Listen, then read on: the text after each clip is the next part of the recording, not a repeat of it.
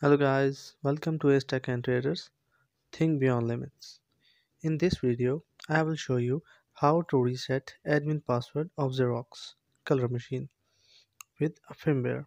If you're having this problem with admin login, watch this video till the end to find the solution.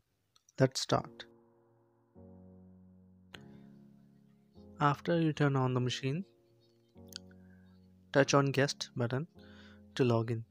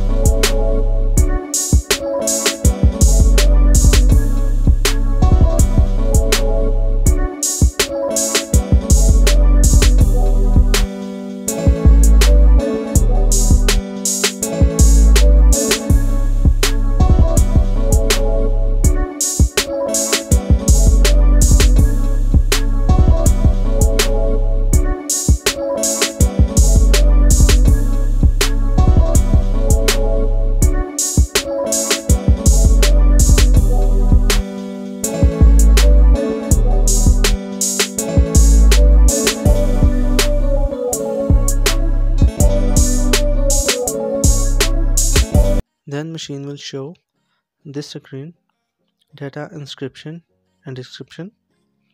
You can see today's date of January